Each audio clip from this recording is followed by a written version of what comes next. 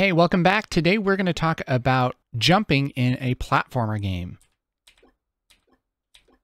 This is just a really simple way to code a jump player jumping for your platformer. So we have our basic code here, init, update, and draw. We have these split out into a couple of pages here. We have a page with our player that just sets up our player properties. And we have a page with our collisions, which I went over in another tutorial. This just basically checks if the player is over something they shouldn't be over and then moves them back to a place where they should be. But let's talk about jumping.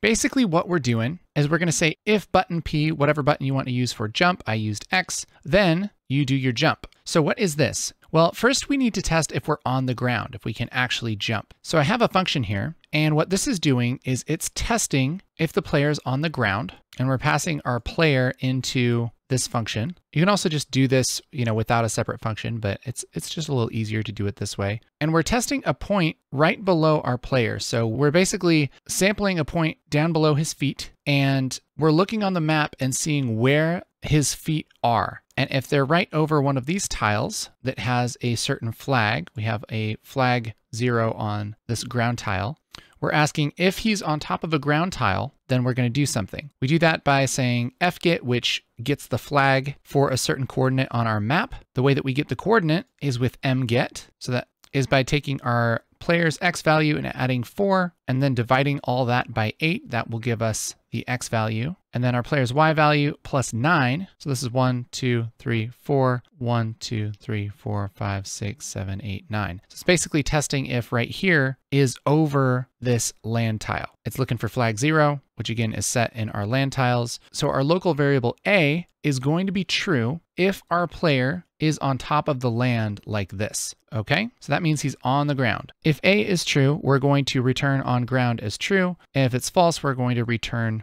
on ground as false. In fact, we could probably just say return A here and just skip a lot of code, just like that. See if that still works. Yep.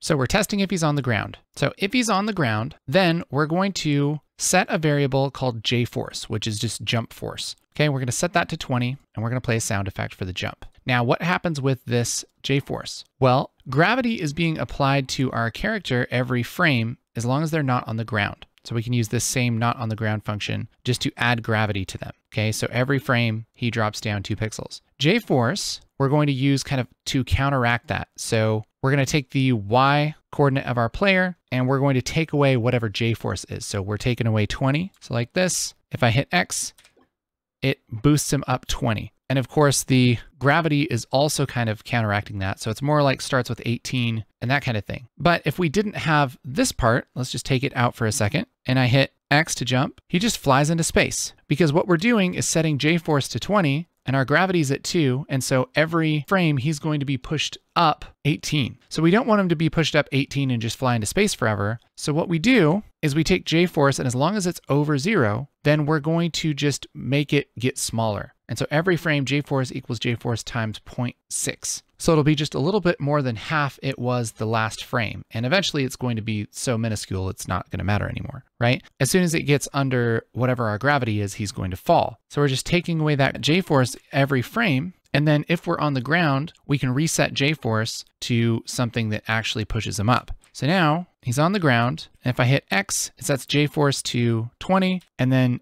it immediately takes that J-force down and he stops being pushed up and he falls down. And it gives you a pretty natural looking jump. So that's a nice way to do it. Of course, there's a lot more advanced things you could do with jumping. You can have him jump higher if you hold X. You can have him fall slower, all kinds of things. If you want to learn more about that, let me know in the comments. That'd be sweet. But that's a good basic jump. Hope you enjoyed this. If you watched all the way to here, why don't you leave me a like? Because that would really help. Hey, thanks for watching.